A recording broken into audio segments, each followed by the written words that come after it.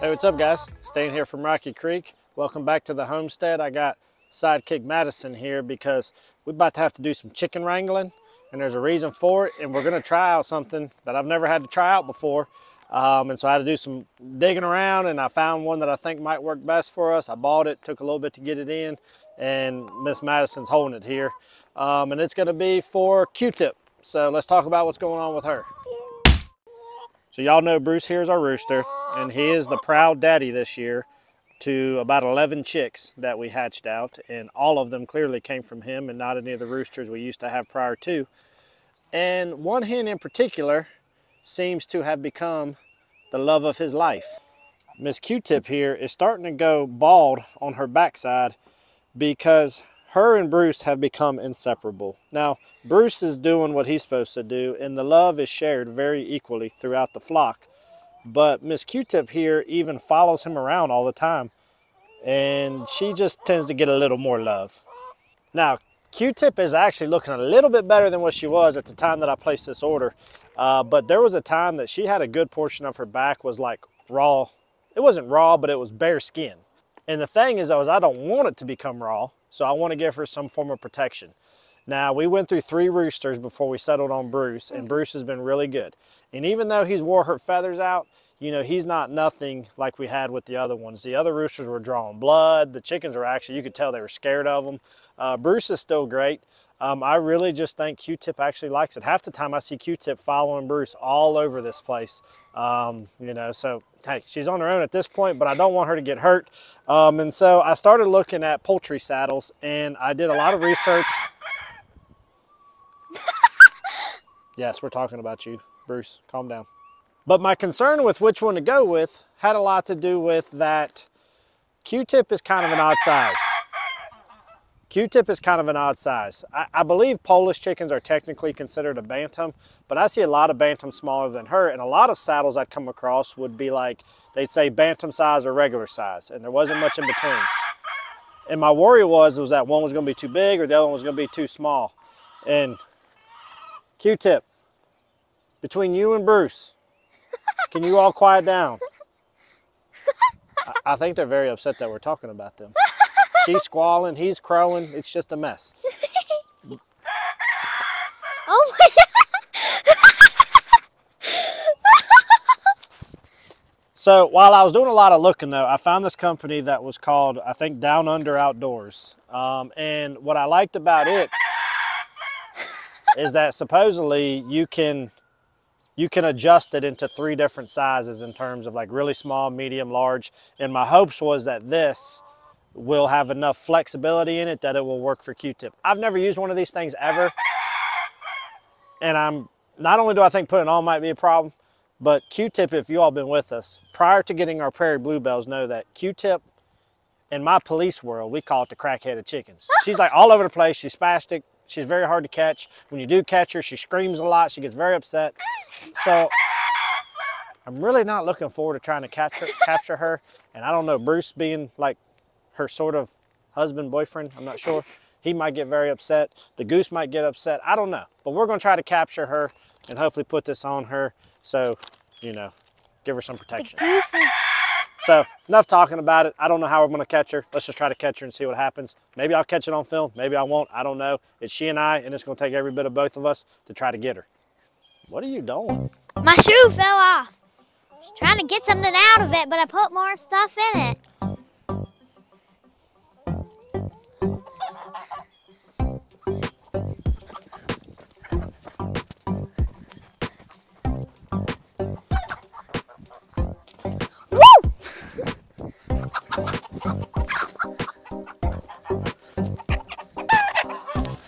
Where's the saddle? All right.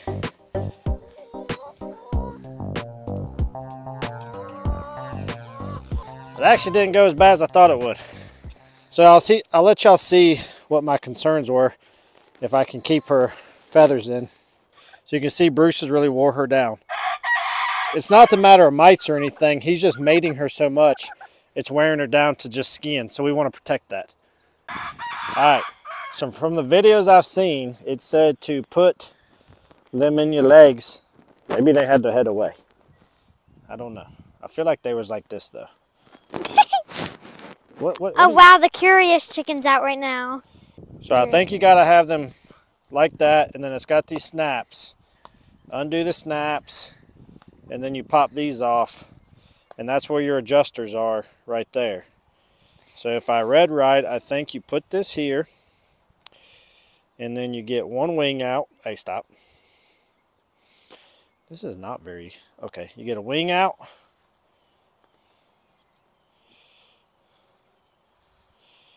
And then you come up and around and you snap it like so. And you gotta do it to the other one. Hey, Whoa! ow, oh, Q-tip, oh, ow, Q-tip, calm, calm, down. calm down. down. Scratch my leg. All right, let's come up, around, Looks like we're putting a dress on her. and you can kind of, when you're moving the feathers around, you kind of feel where it slides up in there without messing up anything. Like I'm trying to figure out.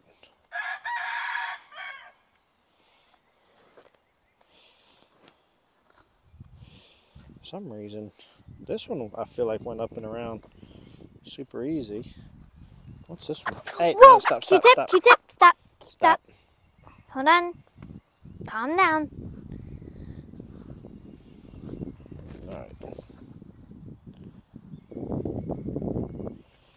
This, oh my gosh, the curious chicken's like sitting in that chair. Well, it was. Looks like she has a cape on. Then fold this down, snap the three snaps, straighten her out. And she's good to go. Well, Well, you hope- gotta get her wings out. Yeah, we gotta lay this down. Stop. Q-tip looks terrified. So that is it on. Let's Yeah. go set her down and see how she does. All right, let's set her down and see how she does. She might freak out. Did say that a chicken will walk kind of funny at first because they don't like the feeling of something on their back. She's trying to get it out. oh my gosh. You feeling a little weird, Q? I'm sorry. I'm sorry, Q. We're trying to protect you. Yo, I've never had to put anything on like this, so really I'm just trying to. I'm not worried about her walking funny because I read that that's pretty normal. But I just want to make sure she has full mobility and stuff. But she, she's, She's very, like, help me. she's very mad. She's trying to peck at it. She's doing her squawking. Yeah, she's like lifting her wing up and trying to get it out. Oh. Y'all look at um, this. She's over there telling on me. She's like, look what they did to me, Bruce. They did bad stuff to me. Help me. Oh, her neck's so puffy.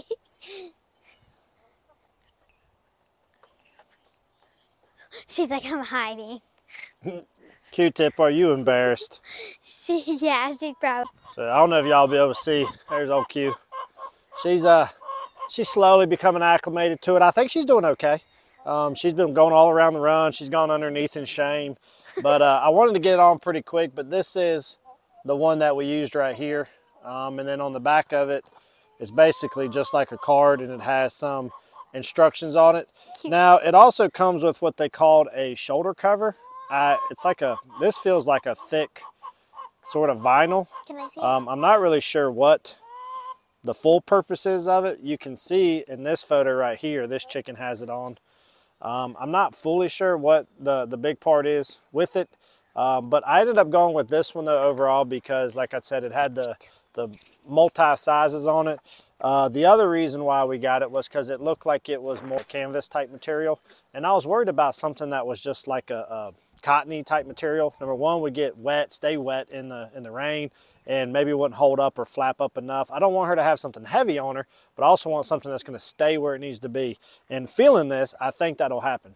So I'll keep you up to date on how this goes. This is just something that I saw that I thought I needed to do before she got uh, you know, raw or an infection or whatever it may happen. And I just went online, did some research, and this is what I settled on. So stay tuned for how this works in case you're ever in a need for a saddle type thing as well. So enough with these guys. Uh, we'll monitor them. We'll take you up to the brooder area where if you've been following us on Facebook or Instagram, you've probably been caught up to date. But those of you all here on the YouTube world probably aren't as up to date. But we got quite a bit of chicks going on in this brooder, so let's give you an update on that. Well, guys, there's so many in there. It's probably hard for you to see, and I, I really don't want to take the top off because they're to the point they fly out on me fast. But we have, I don't know anymore. There's probably One, about two. 11 or 12 in here. Um, and most of the dark ones you see in there are babies Bruce. from Bruce that we hatched out. There are a couple barred rocks in there that we got from a local feed store as well. Um, and then the lighter color ones are mostly Americanas that we got from the feed store as well. But these guys are actually going to be going outside probably within the next week. And then over here in this tote, we got a few more littles, a couple Americanas, a couple Isa Browns, a couple Sapphire Gems. So all in all, you know, we hatched the ones we did, plus we've been buying some at the feed store. And some of the ones I bought at the feed store, I didn't really plan to buy, but finding chicks has been so hard. Some friends of mine have been looking for some, so the feed store is close by. So if they had some, I call them, I get them, and just kind of hold on to them for them till they can come get them. But, so yeah, we got double brooders going here in the shed. S same setup as we usually do. We got them running, tied up two different spots here, tied in that way, and it's at least somewhat climate controlled in here, at least keeping drafts off of them. But they're doing well. Everybody's holding up good. Here's the big kicker on the, the brood and the chicks in here that I'm talking about is I did a video not too long ago about keeping it simple and the basics of brooding chicks. And here's the reality is this year, just in this little bit of time, I have brooded 28 birds. And of 28 birds, all 28 have been fine. I've not done anything special, nothing crazy.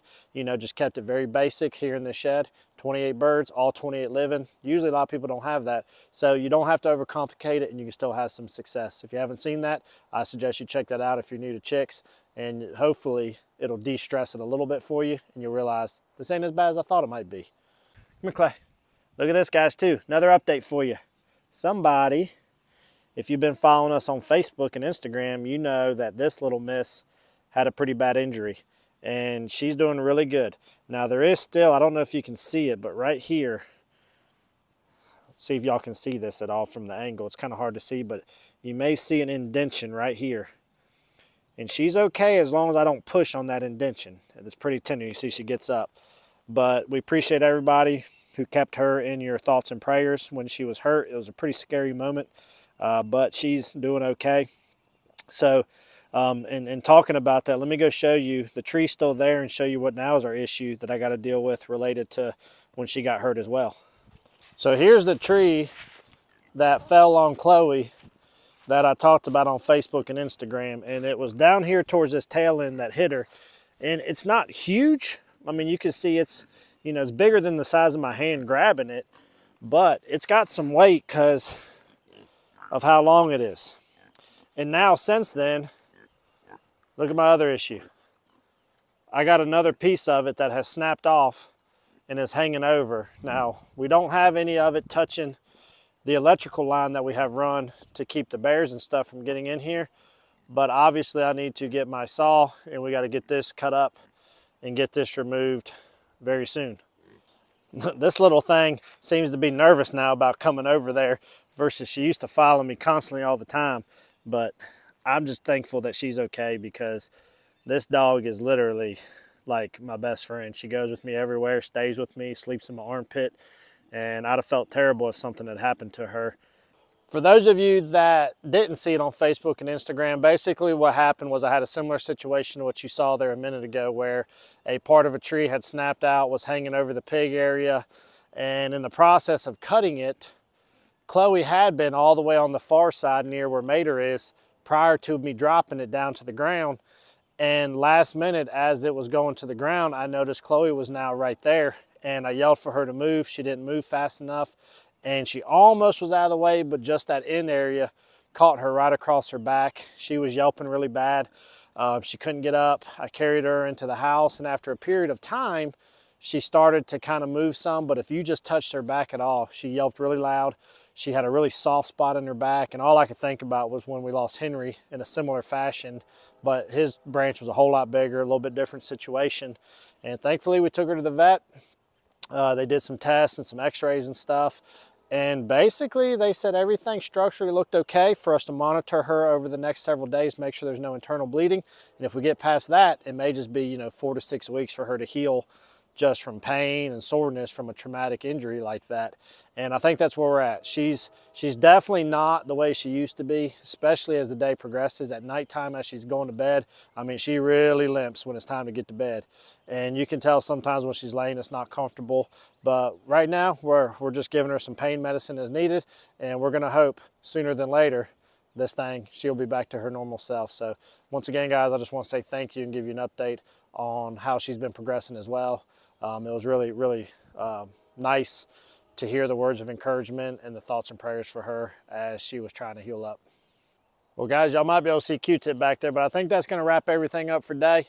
I've never had to put a saddle on a, on a chicken, so I just wanted to share with you all, number one, the saddle that we're using and how well it may or may not have gone on. So far for, for putting on her, that actually went pretty well.